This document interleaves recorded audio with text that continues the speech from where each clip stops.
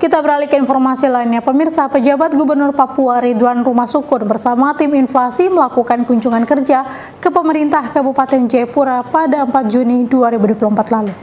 Kabupaten Jayapura sudah tidak masuk di dalam dari Pejabat gubernur dan rombongan melakukan kunjungan kerja bertujuan untuk mengecek langsung kondisi inflasi di wilayah Kabupaten Jayapura.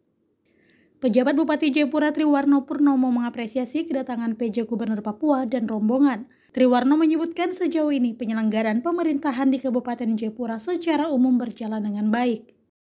Kita dari pemerintah Kabupaten Jayapura menyampaikan terima kasih dan rasa bahagia atas kunjungan Bapak Pejabat Gubernur Papua dan juga Ibu Ketua Tim Penggerak Provinsi Papua yang, yang mana pada hari ini Bapak Gubernur memonitor langsung penanganan inflasi yang dilakukan oleh pemerintah Kabupaten Jayapura. Dan kami menyampaikan terima kasih untuk arahan-arahan dan petunjuk dari Bapak Gubernur dan juga PPD Provinsi Papua atas arahan dan petunjuk bagi BPD Kabupaten Jayapura bekerja lebih baik lagi. Usai melakukan pertemuan di kantor Bupati Jayapura, PJ Gubernur Ridwan Rumah Sukun beserta rombongan dan PJ Bupati Jayapura Triwarno Purnomo melakukan kunjungan ke Posyandu Otau, Kampung Sere, guna melihat pelaksanaan imunisasi polio pada balita. Dari Kabupaten Jayapura, Corneli Mudumi, Ainis Jayapura melaporkan.